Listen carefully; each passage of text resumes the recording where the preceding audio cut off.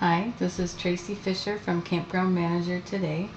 And this time, in this video, we're going to talk about, this is our third video, kind of a little mini series. We're going to talk about what happens after the Teespring campaign is done. There's two that we ran for the Campground School t-shirts. It was the first time we tried it. There's a, there was probably 60 students total that we marketed to. Maybe 40 of them were in a Facebook group. And we had Ogilby sent out an email to the whole group so that we could capture those who were actually not in Facebook. So both campaigns tipped. In video number two, we went in and reduced the campaigns so that they would, so that the students would still get their shirts. And as it turns out, after we reduced one of them down to 12, we ended up with 19 sales. So we got quite a bit more money than I anticipated we would get, and I'll show you how that worked.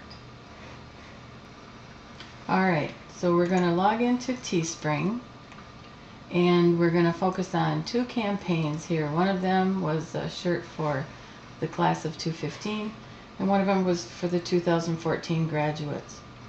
We reduced this one down to 10 so that it would tip, and at the time there was only 7 sales. So then people jumped in and they ordered three more and that campaign tipped. This one we reduced down to 12 because we had 12 sales at the time and we ended up selling 19. So we're going to come back to this page in a minute. Mm, maybe not. Let's click here and let's see. Okay. Yeah. Let me halt this for a moment.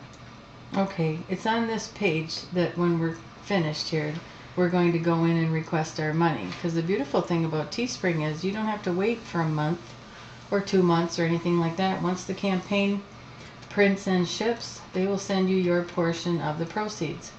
But right now I want to take you to an analytics page. And that is over here. And the address is analytics.teespring.com.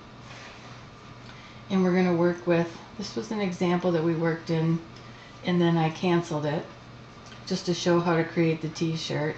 And right now if we click on analytics what's helpful about this you know it gives you a lot of information a lot of this stuff we know tipping point what the dates were. You'll be able to come back in later if you forget. You know views and orders over time that's all fine and good. For these simple small campaigns I'm not paying a lot of attention. It does help kind of like Facebook Insights. It does help to know when people are ordering.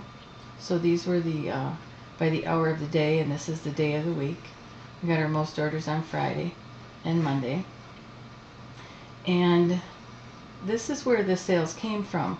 And this no referrer source here, it's an assumption on my part, but I believe that's the email that was sent out. And people were able to click on the link from there. So for the most part, mobile Facebook, this is standard Facebook. I haven't um, really narrowed these down yet to get into the nitty gritty. But what I like the most, especially if you're going to run these over time, is that it tells us what was ordered and how many. So there was a surprising number of hoodies that were ordered for this one in particular, and we make quite a bit more money for hoodies than we did for t-shirts.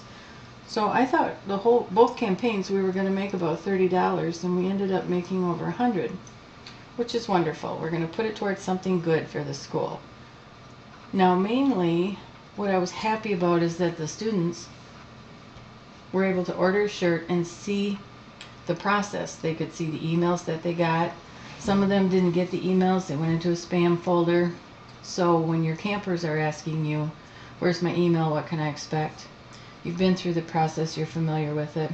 Which reminds me is that a lot of times people will order the first shirt themselves because it does look nicer if one has been sold. And, um, you know, then you have it in stock too. You can always show an example if you're going to run it again. So, let's jump back over to the other campaign and see what the breakdown is for that.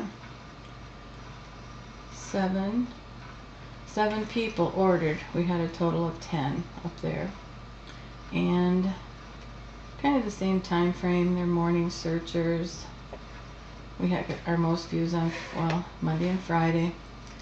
Now, same thing, we had that email definitely brought people in to take a look. And the other links came from the Facebook group. And here we had three out of ten were hoodies, which helped get our, our numbers up for that. And now we're going to pop over to where we request our money. So we had come in here, this is our Teespring, let me back up here to this page, this is our general page. You can click on any one of these. You actually get an email as soon as the campaign tips, there'll be a link there too. And here you can check out your profits and it shows you. So look how pleased we are, $105.92. Now this was shirts that went out to a group of 60 people altogether.